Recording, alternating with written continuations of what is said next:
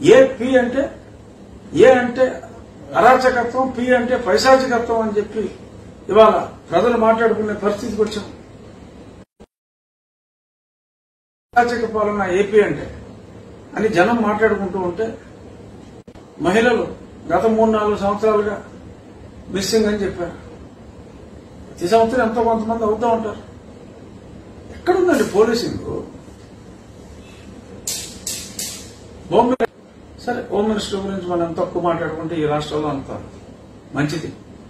ఏ home మంత్రి గారికి గతంలో సుచరిత గారికి కానీ ఇప్పుడు వనిత గారికి కానీ వాళ్ళకి ఎంత పవర్ ఉందో అందరికీ తెలుసు. ప్యారల హోమ్ మినిస్టర్ ససామా గారు. వారు ఒక ఈడీఎస్పీ ట్రాన్స్ఫర్ అంతా అక్కడి నుంచి ఇక్కడికైతే అంత ఇలాంటివన్నీ ఆ ససామా గారు చూసుకుంటూ ఉంటారు అనుకుంటా. అసలు పోలీసింగ్ అనేదాన్ని మానేశారు. నిజంగా పోలీస్ ఆపాలి అనుకుంటే కష్టం. హోమ్ మినిస్టర్కి చిత్తశుద్ధి ఉంటే దమ్మున్న హోమ్ మినిస్టర్ ఉంటే ఈ రాష్ట్రంలో దమ్మున్న అంటే నిజాయితీ ఉన్నా. సిన్సియర్గా నా నా పని నేను చేయాలి అనుకున్న హోమ్ మినిస్టర్ నాకు తెలిసి మరి ఇప్పుడు కాదు ఈ మధ్యకాలంలో ఏ ప్రభుత్వాలు ఉన్నా కూడా లేడు. దురదృష్టం. ఎన్ని ఏంటంటే ఇప్పుడు?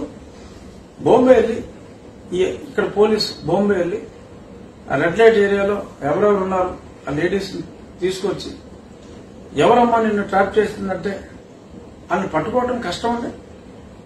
చిన్నపిల్లల్ని ఎత్తుకుపోయే గ్యాంగులు. వాళ్ళకి రాజకీయ నాయకులకి సంబంధాలు.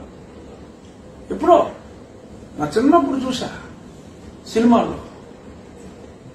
Early or mid seventies. Tamil cinema అయితే జయలలిత కూడా హీరోయిన్ అందరూ అప్పటి నుంచి అదే చదువుతూ. ఆ సినిమాలో కూడా చిన్నపిల్లలు తీసుకెళ్ళటం ముష్టెత్తించడం మొన్న కూడా సినిమాల్లో చూసాం. ఏదో నాయక సినిమా ఏదో. అలాగే సినిమాల్లో చూపెడతాం. ఆ సినిమాల్లో హీరో వేడు వెళ్తాడు తీసుకొచ్చేస్తాడు అంతవరకు బాగానే ఉంది. ఒక్కనా కూడా అసలు పట్టించుకుంటున్నారా చేయలేరా మీరు చేయాలి అంటే ఆడపిల్లలను ఎత్తుకుపోవడం ఆపలేరా? కేంద్ర ప్రభుత్వం అయినా రాష్ట్ర ప్రభుత్వం అయినా దురదృష్టం. కేంద్ర ప్రభుత్వ పరిధిలో లేదు. ఏ స్టేట్ ఆ స్టేట్ చూసుకోవాలి. ఆంధ్ర వాళ్ళని తీసుకెళ్ళి బొంబాయిలో అమ్మేస్తున్నారు.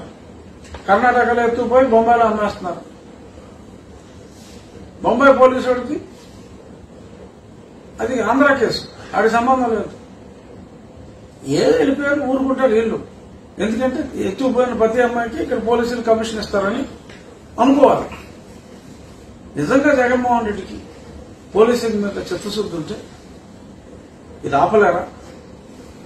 Send your team to red light area find out బిడ్డలు వేషాలు వేసుకుని వెళ్ళండి పోనీ. మీరు డైరెక్ట్గా వెళ్తే అక్కడ ఎవరో దొరకరు అనుకుంటే. వేషాలు వెళ్ళండి వేసుకుని వెళ్ళండి. వాళ్ళని విడిపించండి. వారికి జీవనోపాధి కలిగించండి. మంచి పనులు చేయండి అయ్యా. ఒక్క మంచి పని చేయరు. ఎందుకు? మనిషి జన్మ ఎత్తిన తర్వాత. క్రైమ్ని కంట్రోల్ చేయాలి అంటే పాలకుడికి చిత్తశుద్ధి ఉండాలి. ఈ పాలకుడికి అది లేదు.